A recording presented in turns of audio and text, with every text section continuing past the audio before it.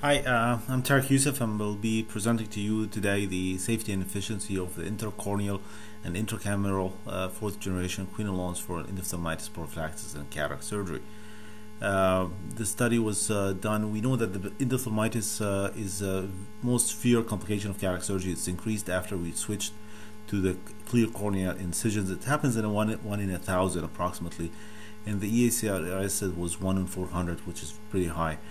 The risk increased 40 times when there is wound leakage, 17 times with the vitreous complications, and if the antibiotic drops are not started the the first day it's 13 times and it's uh, with low penetration antibiotics it's five times so in this study we have uh, uh, 4,640 uh, cataracts with intraocular lens. Uh, one third was no injections, uh, two thirds are with injections, and we had zero cases in the group that did not have did not did have the injections. That's my procedure. We use xylocaine gel mix, and we do the 2.85 knife incision, followed by Vitrax injection, paracentesis, and then capsulorhexis, hydrosection, hydrodilation, and nuclear rotation, followed by phaco emulsification to remove the, the nucleus. It's a pretty routine cataract surgery as uh, usual. Uh, there's no much difference so far, but we use the gel at the beginning and with this careful attention of the wound construction, which is really important. Uh, the J cannula I use in all cases which decrease the vitreous complication and decrease, decrease the incidence of endophthalmitis uh, because it decreases the vitreous complications significantly. It cleans up the capsule completely just by irrigating the fluid and removing the the uh, remaining cortical material without IA at this stage.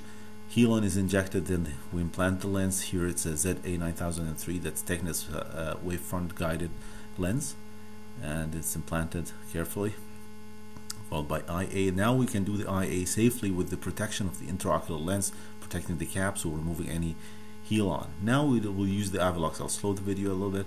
We just hydrate the sides of the main incision and the main, and the rest of the wound will swell and that will allow some fluid to go in and escort inside and outside the the the the eye the Avelox.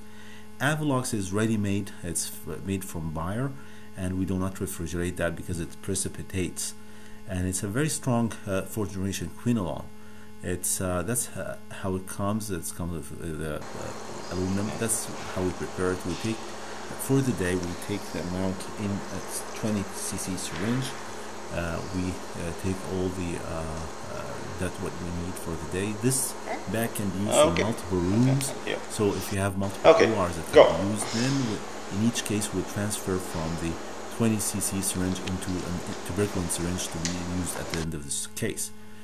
That's how we use it. Again, it's, uh, we hydrate the sides of the wounds and the main incision and the paracentesis and if you do any other incisions and we inject inside and inject sometimes in the bag and for any case we have vitreous or inject in almost through the, the opening. And again another case the same we hydrate the wound it allows the wound to swell and close very well for few days after the surgery and it stays there for few days. Uh, there's no animal study to see how long does it actually stay in there, but you can see this, the wound swelling the first day and the second day. Uh, and again, another case, the same thing.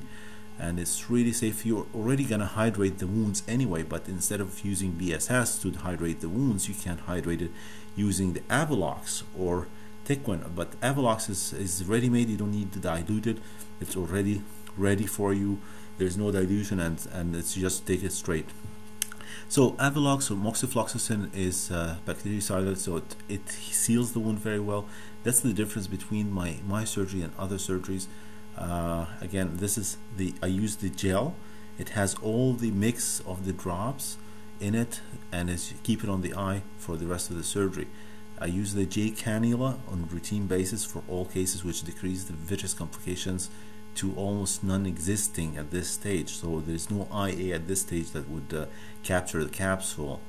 Uh, and it effectively cleans uh, the cells from the bag without having the, the fear of capturing the capsule and resulting in a vitreous loss which uh, 17 times the the endophthalmitis rate uh, this is the IA now I do the IA with the intraocular lens inside the eye uh, to protect the capsule and hydrate the wound at the end. So uh, to sum up, then uh, to sum up, it's uh, the vial of Velox will cost you $50, enough for 250 patients for the day, but usually throw it at the end of the day. One dollar for tuberculin syringe, but preventing endophthalmitis and sleeping very well at night, knowing that you did your best, is actually priceless. Priceless.